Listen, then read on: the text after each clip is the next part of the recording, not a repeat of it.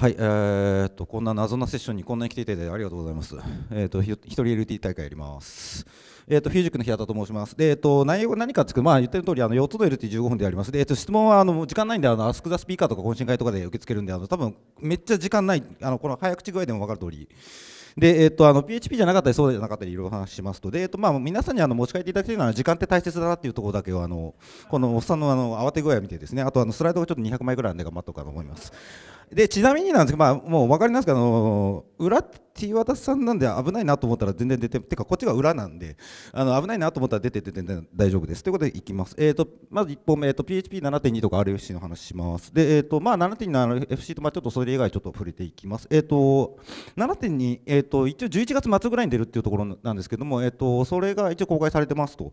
で、えっと、すでに実装済みのがこんだけあるって、まあ、ちょっと細かすぎて見えないんですけど、ちょっとそれいくつか紹介していこうかなと。1つ目が、えっと、ゲットクラスリサーロヌルパラメーターってやつで、あのゲットクラスっていうクラス名を返してくれる関数があるんですね。あのまあ、こんな感じで、まあ、ホゲクラス作って、ゲットクラスってやってあげると、あのまあ、ホゲを返してくれるというやつですね。ちょっと変えて、こんな感じのコードにして、まあえー、とフーのクラス作って、まあ、ゲットクラスのフー返してあげると、まあ、これは分かりやすく、あのまあ、フーが出力されます。まあ、大体分かると。で、ここ1に変えたらどうなるのと。そもそも。返り値が1なんで、ゲットクラスの中にこの整数値みたいに入れるとどうなるかっていうと、まあ、これはさすがにあのワーニングが出ますというところなんですね。で、問題はここ。ヌル入れたらどうなるのって話なんですね、ここに。まあ、同じようにエラー出てきてほしいよねってところなんですけど、なぜかこれ、捕鯨が出力されるという話がありまして。えっていう話なんです。これバグじゃねえかって言いたいんですけど違います。これあの RFC の話なんです。仕様の話なんです。で、えっと、実はゲットクラスっていうのを下の方にちょっと書いてるんですね。実は下の方にあの、クラス内部ではこのパラメータを省略することもできますっていうのがあって、実際どういうことかっていうと、あのまあ、こういうことだったらちょっと分かりやすいのかなと。自分のクラス内であの get class の引数なしで返すと、あの自分の自身の名前を返すんで、あのほげが出力されると。要はこういうことが起きてると。でただこれさすがにまずいよね。っていう話になって、まあ、この null parameter やめにしましょう。 warning 出しましょうという話が、えっとまあ、出てるとでこれはも実装済みっていう話です。次、えっと、 counting、えー、 non countable object、まあえっと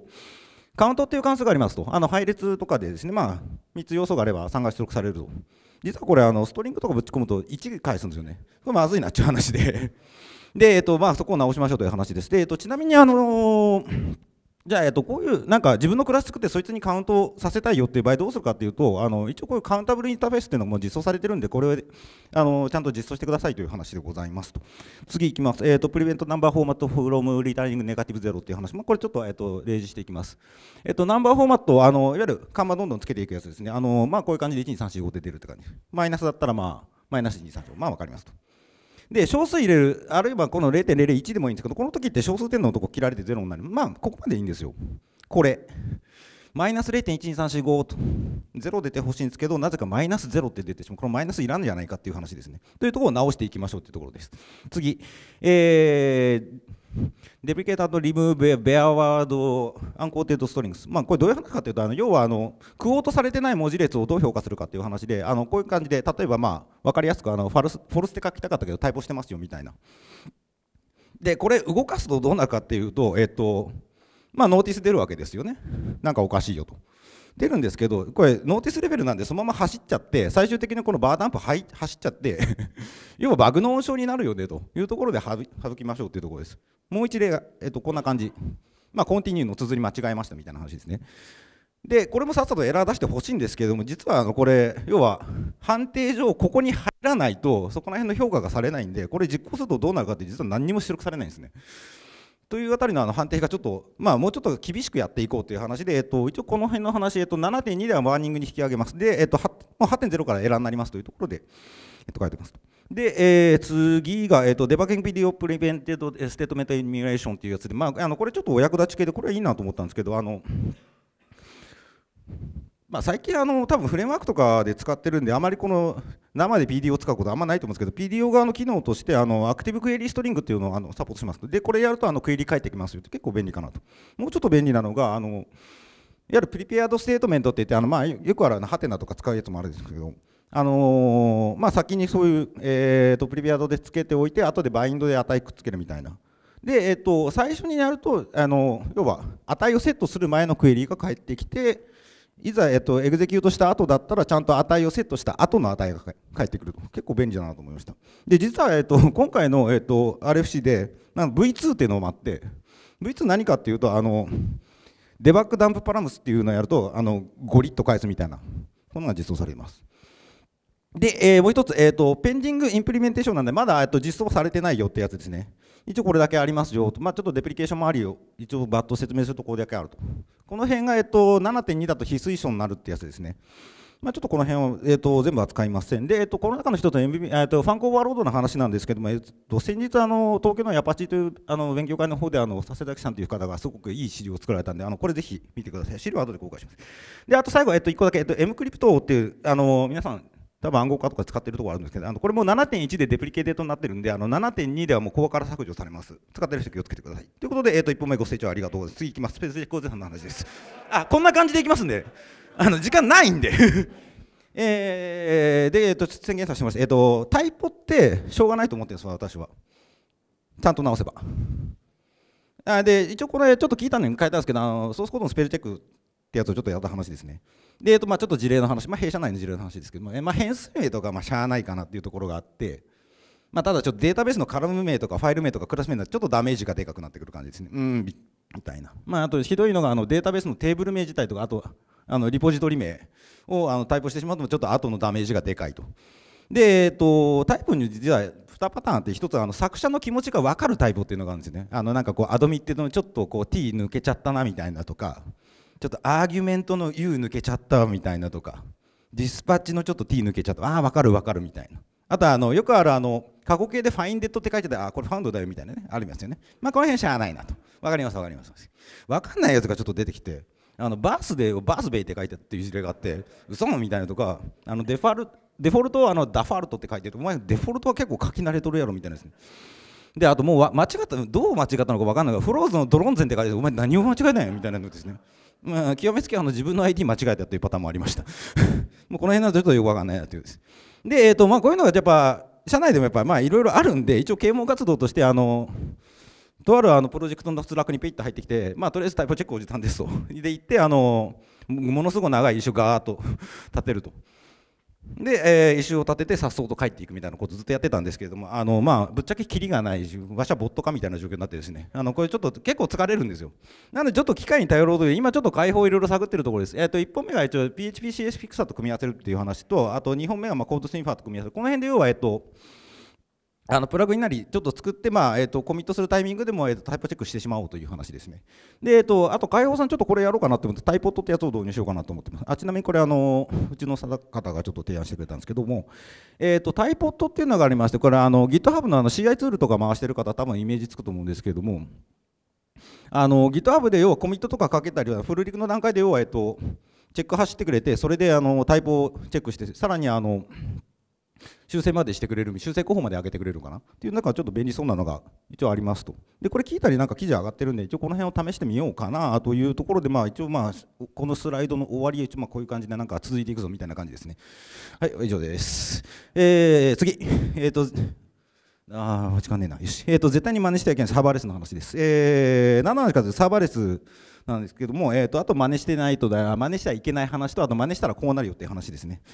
えー、サーバーレスアーキテクチャっていう結構広めにあの範囲あるんで、一応こんな感じの、まあ、 backend as a service とか function as a service とかで、 reactive systems とか、一応、まあ、あの意味合いがいろいろあるんですけど、今日はこっち、あの function as a service の話でございます。あ疲れた。で、えー、っと、どういうのかというと、まあ、ざっくり言うと、あのコードの実行環境のみを提供して、あの利用者っていうのはそのサ、そのサーバー、立てなくても、要はコードとかアップしたらまあ実行できますよと。結構便利ですよねと。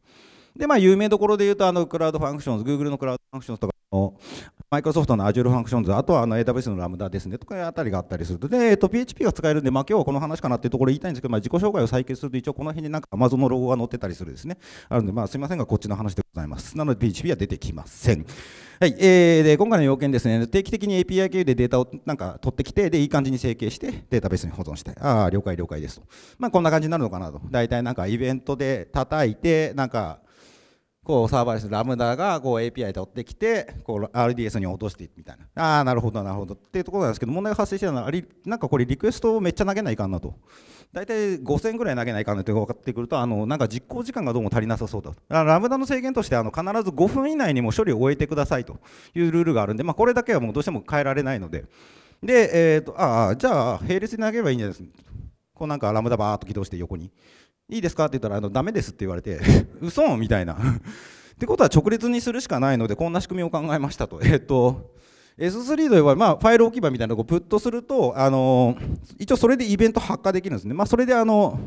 関数は起動できますと。起動して、えー、と API に叩きますと。API で保存する。で一応ここまでやって、えっと、その後に、えっと、いわゆるページングみたいなことをやって次のページがあったらまた投げると。投げてまた投げて、えっと、また発火してまた取ってきてみたいなのをずっと繰り返すという感じのをやってみましたと。でまあ最終的にこう N 回繰り返して終わりですよみたいな。なんですけれども、まあえっと、見てばかるこれなんか見せたら無限ループしそうですよね。ぐるんぐるん回りっぱなしになりそうだなと。ということで、えーと、あのご家庭でもご存知あのブレーカーみたいなのを導入しましたという話です。えーと、ブレーカーも導入するとどうなるかって、まあ、ブレーカー追加してあの先にとりあえずこうチェックしてあこれもうあのダメよっていうなんかフラグ用の JSON かなんか置いとってあのこれ止めてくださいの状態だのも処理しないみたいな。で最終形が一応こんな形になると。もう一回再建しますけど理想こうだったんですよね。理想こうだったんですけれども、まあえーと、結果として、えーと作られたのはこんな感じになりましたと。ぐるんぐるんした感じですね。はいえー、ちなみにあの結果その2っていうのがあって、まあえっと、これある1タスクなんですけど別のタスクもあって別のタスクだとさらにこんな長くなってしまうとですねなんかもう大変なことになったという話です。まああのそこにどうしてこうなったパターンってやつですね。はいで、えー、っとで一応これで話終わりじゃなくてあのFaultline っていうあのまあ、エラーをいい感じに拾って通知してくれるみたいなあの詳しい話は D ホールであの14時45分がうちの親山がやるんですけど、まあえっと、ある日あのこういうなんか Slack にポコンと飛んできたんですね。あのこれがものすごく大量大体件数で言うと多分1000件以上飛んできておっと思って何が起きたかっていうとそのさっき作ったものがめちゃめちゃエラーを起こしててでそれであの Faultline のやつにめっちゃリクエストが飛ぶと。で今度どうなるかというと孤立そのエラーをか検知するやつというかあのチェックするやつ自身が落ちてそっちの通知が大量に来るみたいなことになると。でまあそれでも投げつくるおーみたいな感じで、あま、作っててよかったなブレーカーみたいな話で。ここであのブレーカー発動してパコンと落としたという話です。で結果どうなったかっていうとあのこれちょっとあの AWS の集計結果の確かこれ1日の数なんですけどあと4.63あの後ろにちっちゃく見てる M ですね。ミリオンですね。ということで、えーと、実行回数が約463万回ほど走りまして、処理時間が約930万秒と。で、も、両国が、えーと、320万秒ぐらいあったんですけど、まあ、合わせてあの大体13ドル程度の課金が発生しまったというですね、まあ、あの致命傷で済んだなっていう感じですね。危なかったというやつです。あの本当、 Lambda って怖いですよ。で、えーと、どうすべきだったかという話で、あの実行回数制限定めておくとか、まあ、そもそも方式変えるとかですね、まあ、 Step Functions になるものが、その辺使うといいかもしれない。まあ、あと、そもそも今回並列化できないんで、 cron でいいんじゃないっていう話も出ました。はい、以上でした。ご清聴ありがとうございました。えーと、あと多分2分。よし、えーと、最後です。えー、っとこの話をしたいんですけど結構時間がないんでバッといきます、えー、っと大人事情はさせてください、えー、っとスライドはなんかいろいろ変える可能性があります。映像を OK にしてますけど音を鳴らしたらどうもダメっぽいけど多分デモをしないから大丈夫もう。で、え、っとこれ個人の活動の話です。え、っとクイズの話です、えーと、何かというと、二次会の余興のシステムをちょっと作りましたよという話で、えーと、要件はこんな感じですね、多人数の参加型100人ぐらいで、えーと、回答はスマホでやってます。ちなみに私は昔こういうのも作ってましたっていうのがあって、一応なんか、過去にこういうのとか、こういうのとか一応作ったりするんで、まあ、説明飛ばします。で、あれから3年後ってやつがあって、まあ、一応、前回見てた人から依頼が来たというですね、ついにこの前回というのは、あのえー、ミリオネア的なやつを作りましたってやつですね。で、えー、と今回の違い、開発者1人から2人になって要求のハードルが上がって、まあ、差し引きマイナスかなみたいな感じで、で、デモは飛ばす、よし。えーとまあ、要はあのなんかオールスターが感謝するやつを作ったっていう話ですね。ああのあの回答で回答画面はこんな感じで作ってましたよと。で構成でいうとこんな感じであのケーキで一応こう回してエンジン X で振り分けてで答えるところだけ下でバンバカバンバカ流すみたいな感じですね。ちょっと説明はババババッと飛ばします。でえっ、とまあうまくいろいろ言ったんですけれどもえっ、とまああと良かったのは結構ガラケー対応とかしなくてよかったとかいう話もありましたってところですね。まあ時間はもうなんかうまいこと予定通りに収まったなってところなんですけどあのちょっと操作系実はこれちょっと説明してなかったんですけどまああのキーボードの1から10に全部あの操作をいろいろ割り当てるというなかなかあの折れるようなことやってたらさっきのあの操作系分かれた方から操作しづらいっていう話がまあそうですねっていう話ですね。であとあの画面作るところちょっと分業できなかったなという話があったりとか、まあ、あと当日場が発生したとかいろいろあったと。でこの辺はまた聞いたにもちょっと軽く書いてるんであの一応聞いた唯一余興タグってやつは一応私で1記事だけずっとあるとこれなかなか増えないんですよね。であのちょっとまあ感想としては一応会場の方からあの再現度が高すぎて驚かれたりとか売れるって言われたんですけど、まあ、うんだからなんとか感謝祭なんで、まあ、著作権がやっぱり持ってないとうちはというところであのものがあったと。で、えっとまあ、ちょっと時間もなく結構飛ばした部分もあったうまくいかなかったことあたりの解放については、えー今日の LT であの今日の一応テーマはさっき2016年今度2017であの改善したとって話を、えっと、また続きでやりますということでありがとうございます。はい最後です。全体まとめ。一人 LT なんてやるもんじゃない。ありがとうございました。